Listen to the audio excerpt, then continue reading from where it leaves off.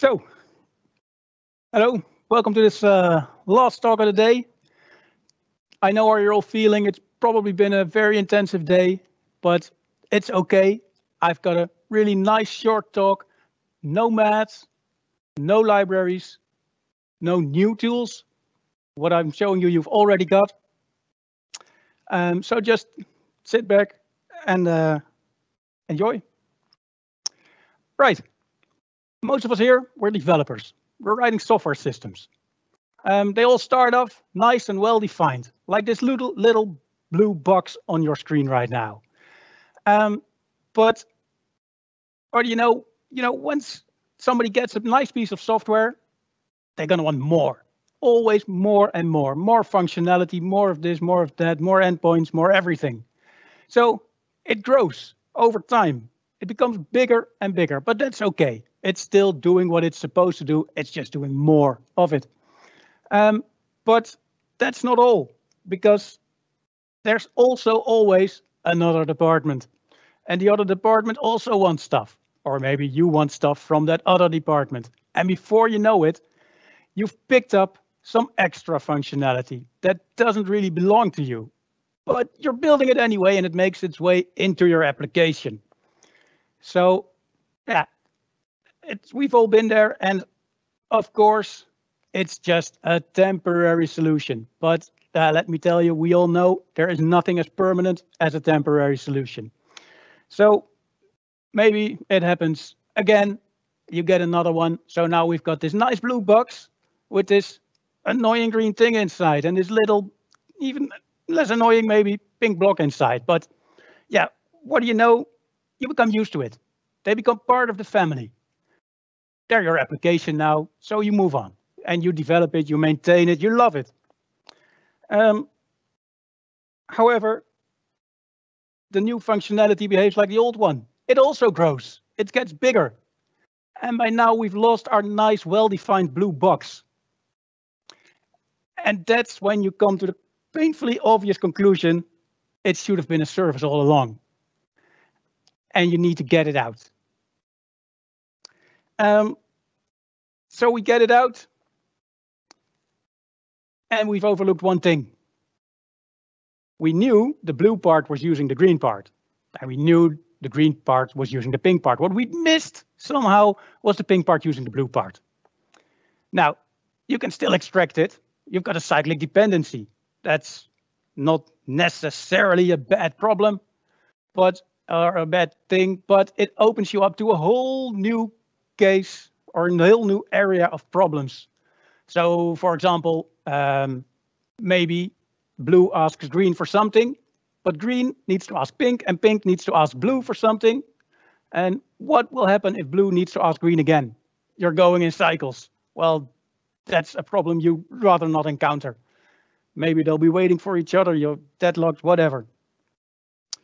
Um, so if we get into this situation, you get issues, potential issues. And yeah, they're all they all want the same piece. You yeah. You'd rather have prevented this. So where did we go wrong? Where could we have spotted this issue? Well, that's when adding the pink block to the situation. So uh, just to make things clear for people knowing our area, this is all a fictive example. Um, I need three rows later on to make a nice uh, diagram, so that's why we have three boxes. Um, uh, we managed to mess up with just two boxes. Um, so next up, we're going to be creating a nice visualization that will show us how we could have spotted this.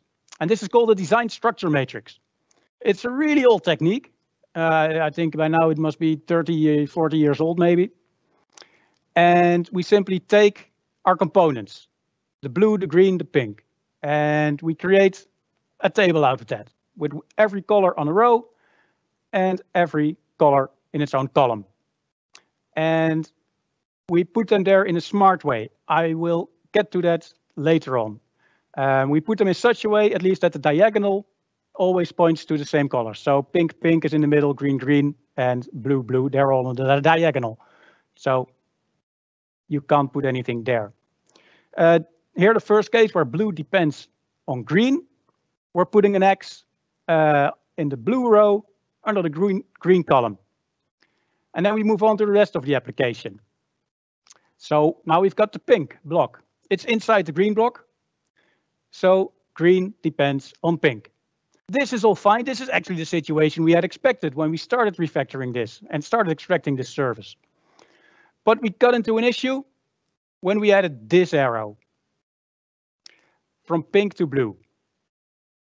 If we're adding anything to pink here in this table, we're putting it in the top half of the corner. And that's precisely the nice, uh, the nice condition or the nice property of a design structure matrix. If you model your software really nicely, all the dependencies will be beneath the diagonal. That means it will be clear of any cyclic dependencies. And if you take something out, you will immediately spot all the things that you will be taking along out with it. Um,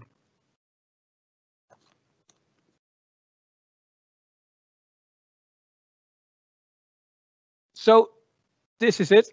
Um, this is the tool I wanted to present. Oh, crap. Sorry. Of course, if you want to prevent this, you need to break or you want to get rid of this dependency, you need to break that dependency. You need to get rid of it. There are many ways you can do that. Um, and I can't tell you how. It's very dependent on your own application. But some things you may try is to simply move some logic from the blue component into the pink component.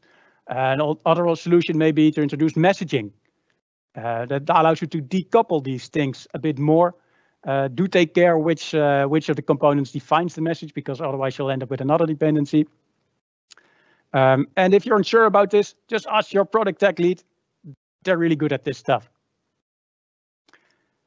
So, however, I can tell you if you do break that dependency, you'll feel a bit like this.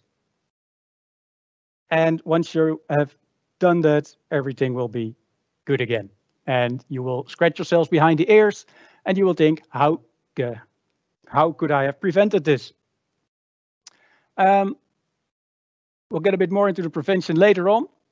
But for now, as I promised, no big mats, no libraries, no new tools. Everything you need for this, you already have it. It's like two clicks in IntelliJ. If you go to uh, Analyze Dependency Matrix in the menu, you press the toggle cycles button, and that's just to make it nicer. It will only highlight some stuff for you. Um, it's still very informative otherwise. And this is what it will show you. Um, this is a real example for one of our services. Um, if you look at the bottom line, the one in blue, you can see the util layer. All of our products probably have a util layer. And you can see ours is being used by almost every component out there are within our own service. And it's not using any of the others. That's why it's at the bottom. And that's the smart ordering in the de design structure matrix. If we put the most highly used components at the bottom, they have the most uh, space to note their dependencies in and there is no room for anything to be dependent on them, uh, for them to be dependent on anything else. And by that ordering, you get this nice property that alongside the diagonal, which is, you can barely see it in this uh, slide, but it's there. Um, you can see uh, that everything mostly is below it.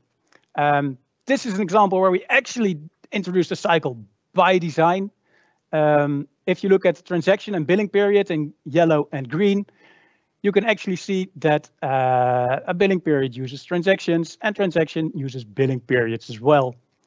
Um, while I said I can't help you in say, telling you how to solve this thing, I can give you some pointers on where you should solve it. Because if you look at billing period, you can see it's using uh, transactions 55 times, whereas transaction only uses the billing period three times. Well, I can tell you that's because um, it's a one-to-n relationship and somehow that made it into this dependency graph. So transaction simply says, I belong to this billing period and nothing else. Um, but if we wanted to be really clean, we could take it out and um, transaction would be the place to go solve this because then you only have to solve it at three places and not 55. Then again, you may be exactly doing the opposite part um, because you wouldn't need to. It's it's really hard to say. Um, let's see. I think that is everything. Uh, well, not everything. I still have what I learned. Um, we got into this situation and we didn't didn't want to. I still remember one of my uh, uh, team members saying, "Hey Remco, we should create a Maven module for this." And I mentioned, or I said, "Nah, it's a temporary solution. Just throw it in a package. It'll be out before you know it." Um, yeah, that was a big mistake. Still sorry about that.